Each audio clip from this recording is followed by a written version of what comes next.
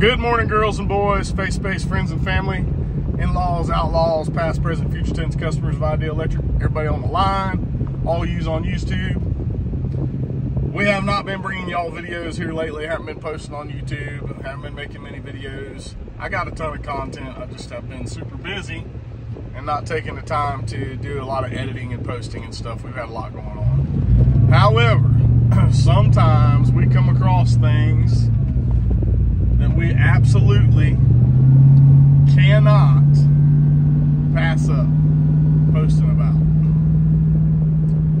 And uh, this is one of those such times. So I hope y'all uh, enjoy this little short video of how to not hang a ceiling fan or mount a ceiling fan box.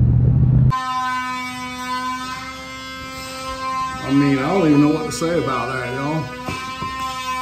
There was a ceiling fan hanging off of that.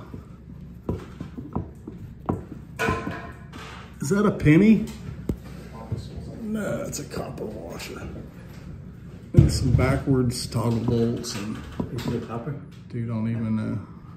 Ricky says, did you see candy? You say copper? Did you say copper?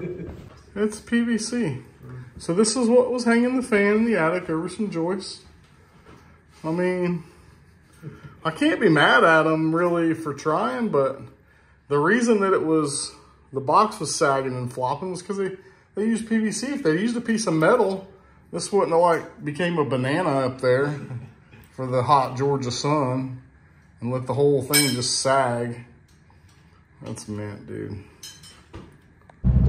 Now, obviously, had that been a steel conduit, it wouldn't have sagged and been, you know, pulling out the ceiling like it was, but it still wouldn't have been right.